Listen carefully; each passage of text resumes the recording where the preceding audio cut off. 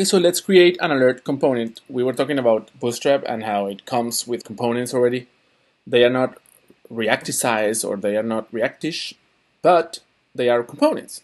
Um, so if we want to evolve those React components, a good idea will be to make them React components. Someone did that already, by the way. It's called React React and I recommend it 100%. I think it was well done.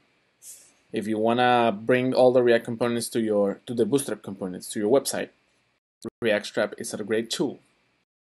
But we're, it's like we're building a little bit of React in this exercise. We're building the alert component. So how does it work? We have to first look at the code. It's very simple actually. Look, it's just a div with a class alert, alert primary. Well, primary depends on the color. Primary will be for blue. Like always in Bootstrap, you have primary blue, secondary.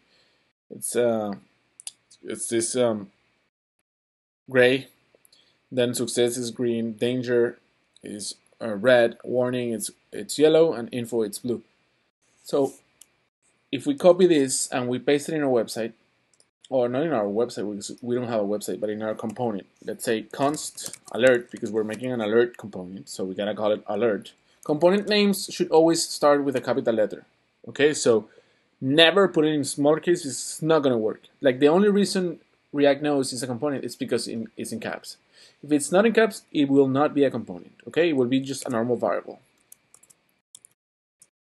So we gotta create a function for that. So function, open, close, and then we return our HTML for a normal, a normal alert. So from now on, the alert is exists. Yeah, like this works. If I just run this, it will work. It's not done, but it, it will work. And it's not working, so I have to beat my own tongue. What's the problem here? The line number 12 is missing a semicolon. Yeah, it was just a simple. But it's weird because I already have my parentheses, and that should be enough. Maybe if I put it like this. That's weird. Let's try again. Yeah, it does work. Okay. So here's my alert. It's as you can see, it's blue, so it's a primary. Yeah, alert primary. It's exactly like Bootstrap, a Bootstrap alert. Let's see. The one thing that is having is that it should say, oh my god, something bad really happened. And it's not saying that. It's saying a simple alert, check it out. And that's because we are supposed to receive this text property. So we gotta put here props.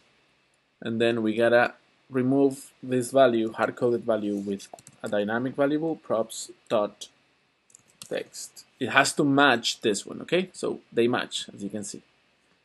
So if I run this again, it should say now, oh my god, something really bad happened. Oh my god, something really bad happened. That's good. Let's test it now. It's not working. Let's see if I have to do something else. Alert, alert primary. Ah, it's supposed to be an alert danger, not an alert primary. So, danger. Let's test it again. Not as expected again. So let's see why. Oh, yeah. Always forget about the same thing, the class thing. And that's good.